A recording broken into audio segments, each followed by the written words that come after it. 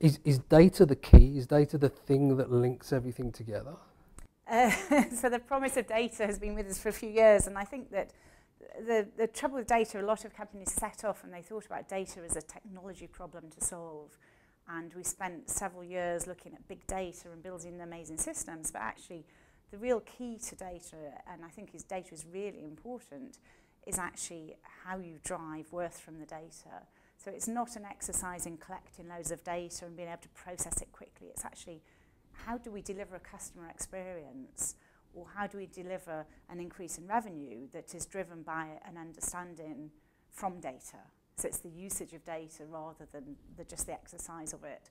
And I think that that's where many companies have got a little bit lost. So I think that um, in a previous company, the, the data scientist there used to say you can drive a lot of really good value from actually really rubbish systems and, and Excel.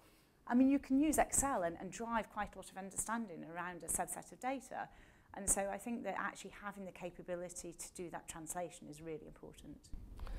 And is that part of the challenge that you know, to to make the most out of the systems you already have and extract the data out of those systems? Is is, is that what you approach first, or do you look outside?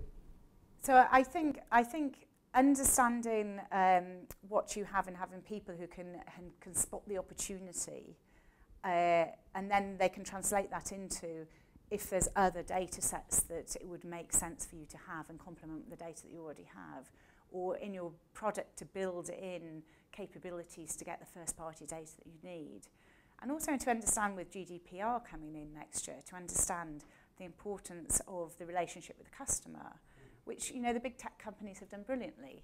The relationship with the customer and being able to collect the right data. But also, I think more and more companies are going to think about the ethics of collecting the data and what they do with the data. And I think that's going to become a much more important issue in, in the future. And is that something that comes up a lot? I mean, being a media organisation, you know, data is uh, it's, it's not just you know the backbone of what you do. It's actually you know in part the product you produce. How's that? Uh, you know, how does that debate sort of take place in, in an organisation like News UK?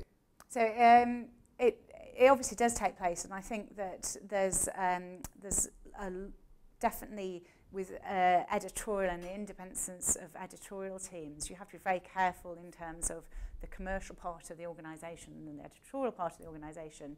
And uh, obviously customer data is, is not always anonymised for any use um, outside uh, the company.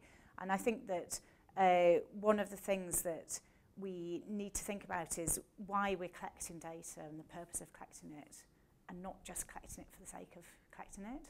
And I think that when you look at the amount of information some companies have about us, I think that will be brought into question.